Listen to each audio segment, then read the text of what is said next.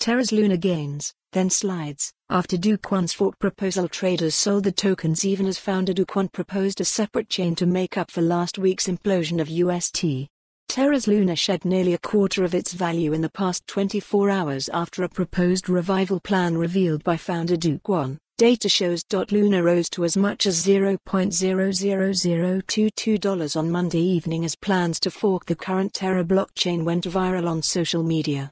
It then shed as much as 22% in early Asian hours to trade at just over $0.00017 at writing time. Some $2.1 billion worth of the tokens were traded in the past 24 hours alone. The token is down more than 99% since April highs of nearly $120.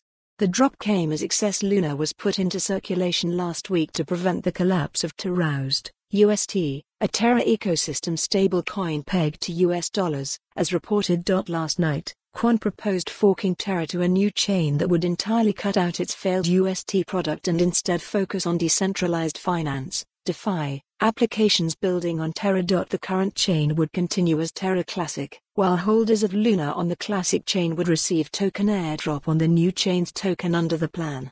Although still a proposal, if a majority of network validators in the community were to approve the plan, the new network could be launched as soon as May 27, Kwon said. Sentiment remains mixed for the proposal among the crypto community. Some follow the URL for the full article. For more on this story, visit the news article link.